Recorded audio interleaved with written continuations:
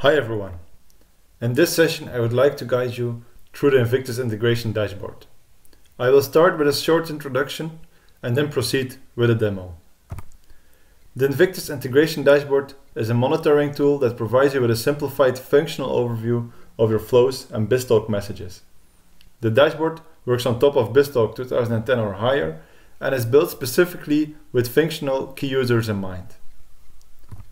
The core capabilities of the dashboard are simple. We want users to be able to see the status of their messages, flows and exceptions quickly. We want users to be able to dig deeper and find messages easily based on their date, status or any other promoted properties. And a third core capability is message handling. This feature is interesting for more advanced or technical users. Depending on the rights that an administrator grants you, you will be able to click through to a more technical overview that allows you to suspend, resume, ignore, terminate, or resubmit messages that are in an error state.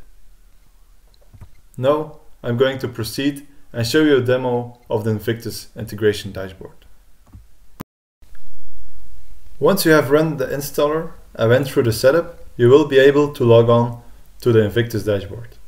There are three ways you can access the dashboard. Through username password, through Azure Active Directory, or through local Active Directory. After choosing Azure or local AD during setup, signing in to the dashboard will happen automatically.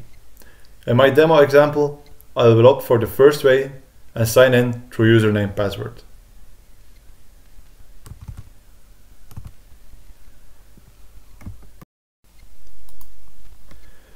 The first time you sign in, after installation of the dashboard, you will see that it looks pretty empty. That's because no flows have been created yet. Starting on the left and the sidebar, you will be able to create folders and add flows that contain the BizTalk messages. Optionally, you can also add subfolders to your folders. You can also see that there is a documentation tab. Clicking on this tab will open your browser and guide you to our online support and knowledge base. In the middle of the screen, next to the sidebar, you will see the flow statistics. In this screen you will be able to monitor and keep an eye on the BizTalk messages that got processed. If you want to see more historical data on the dashboard, you can do so by changing the time parameter on the right side of your screen. And we also added the one minute auto refresh feature, but you can always opt to refresh the dashboard manually by clicking the icon next to it in the upper right corner. By clicking on your name, you can access your profile and sign out of the dashboard. Only administrators will see an icon next to their name. By clicking this icon, you can access the user management screen and in this screen you are able to add, edit and delete users. Now I will go back to the home screen of the Invictus integration dashboard to create a folder and some flows. The first thing is creating a folder. To create a folder you have to click on the plus button, define the folder name and hit submit.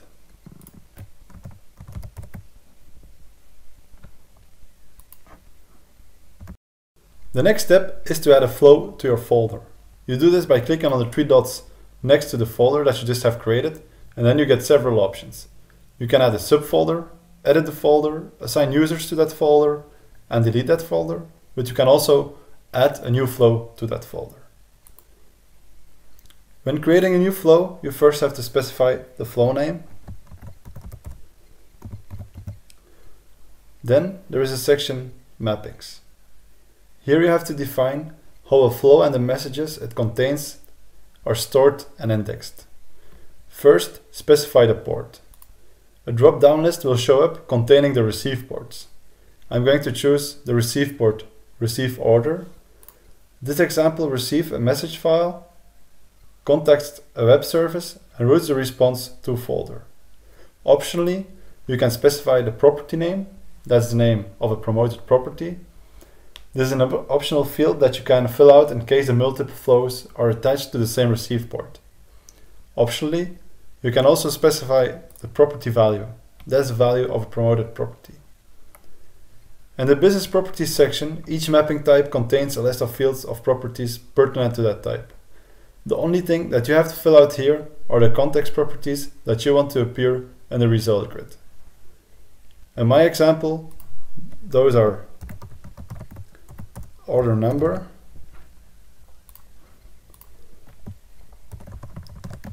order date, and customer number. Once all the information is provided, you hit a submit button and a widget with the status of your messages will be created on the home screen of the dashboard. As you can see at this moment, zero messages have been processed and I'm going to run some messages through BizTalk and then they will appear on the home screen of the dashboard.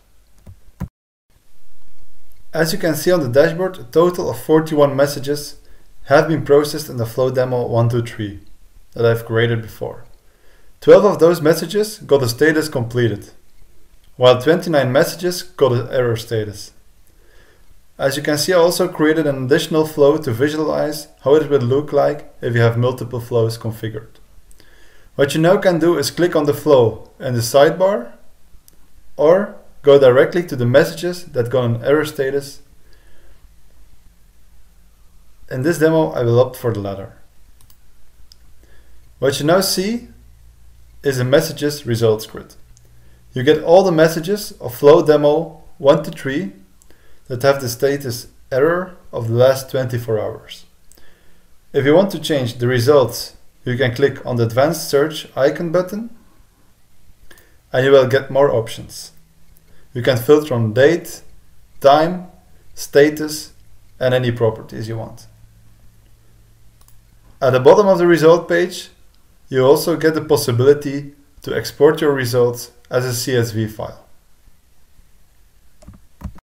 In the results grid of your message, you can expand the row to get more information about the actual error. In this example, you can see that the customer number is not known. If you want to handle this message, you can do so by clicking on Detail. This brings you to a more detailed overview. On the left, you get to see the list of message instances that were being processed by the selected instance. The top table on the right gives you more information about the selected instance itself. In this screen, you can undertake several actions.